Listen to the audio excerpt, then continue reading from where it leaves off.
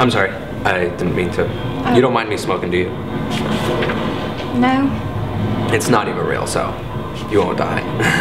Wait, what? Your cigarette's not real? no. Um, it gives me the nicotine I need. I'm trying to quit, but it's just water vapor instead of smoke. so. That's kind of disappointing. Would you rather I smoke for real? No, um, it's just, I think most women find it kind of sexy when a man does whatever he wants. My name's Elise. Well, I'm doing whatever I want, so I guess I'm sexy. My name is Frank. Well, I thought you were sexy, but that's a really bad name, Frank. The only one I got. well, we can always find you another. Yeah, we could. So what are you, British or? I am. Yeah. Go figure, huh? And you are not Canadian. American. Mm-hmm. I had an inkling. So, what are you doing in Venice? Well, I can see you're deeply engrossed in a spy novel, so let's play a game.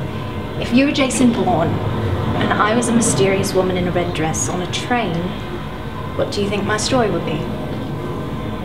I was Jason. Mm-hmm.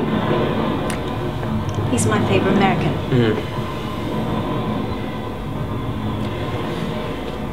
You are a diplomatic attaché. No, you're not. Jason Bourne is now in the 80s. You are an East German girl. And your father's been kidnapped.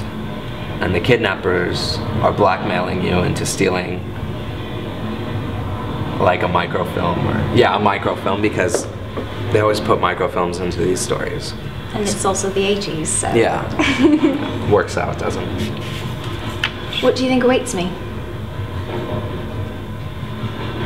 You'll get into a lot of trouble. Do you think I'll get in danger? Let's put it this way if you don't get shot at in the next two chapters, it's going to be very disappointing.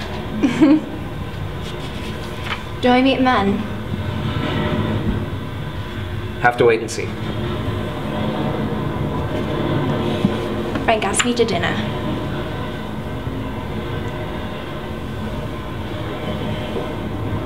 Like, like a date. Like two people eating food.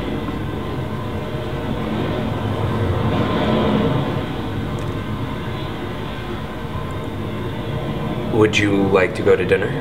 No, because women don't like questions. Let's go to dinner.